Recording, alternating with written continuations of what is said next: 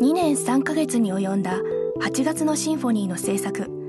ここではその制作過程の中でもこの作品ならではという特徴的な制作方法をご紹介していきましょう。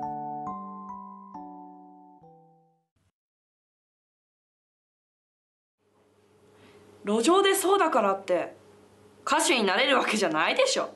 路上で歌がうまいって言っても歌手になれるわけじゃないでしょ。ここでは役者さんのちょっとした含み笑いの演技がアニメーションに反映されています。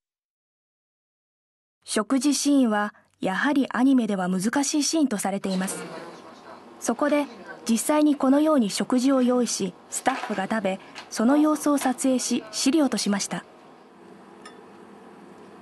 そうして出来上がったのがこちらのシーンです。餃子やっぱ美味しか。父さんも好きやったもんねそういえば会社も大変なんやろ？